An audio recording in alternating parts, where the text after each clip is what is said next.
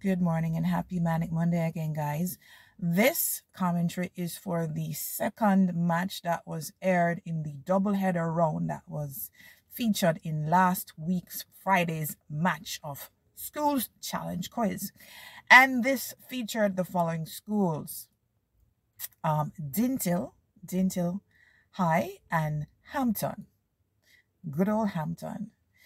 Um, so first of all, big ups to Dinthill. Big ups to Dinthill. Um, they they they them put out them them do them thing. Them do them thing, guys. In all fairness, um, I'm a little bit disappointed on the Hampton side because I was looking for my girls to give them a better run for their money, especially in the last segment.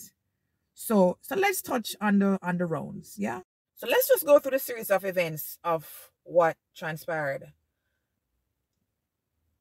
Dinthill was basically, you know, straight out there. They took a, a, a head start out of the starter blocks.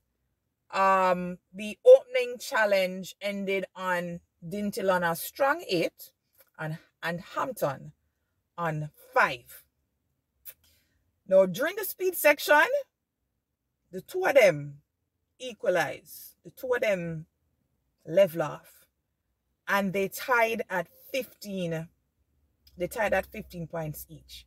Mark you, that 15 is not a good indication of what Dinthill's strength is is looking like because it means that you only racked up seven points in the in the in three minutes three separate minutes of of your your buzzer section sorry of your speed section.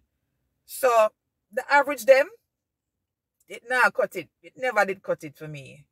So it means that hampton performed better during the speed section than you did dinthill so come we go down to the buzzer round now. Buzzer round the two of them oh jesus them ask the question about Spanish, nobody answer. Them ask about French, nobody answer. Them ask about chemistry, them ask about physics, them ask about maths. People, them weak. Them did weak really bad. And if if Hampton had even answered any of the languages, they wouldn't have ended up the way they did at the by the close of, of the buzzer section. So pull up on the socks.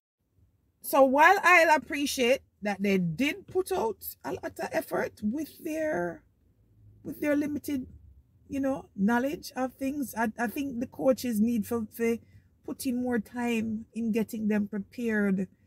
Um how they got the edge, how Dinthill got the edge now, uh, it's the, they answered the sports question um, what else did they answer? I think it was a RE question as well that gave them the push because the girl the girls only answered about the question about Dolly Parton and the art question.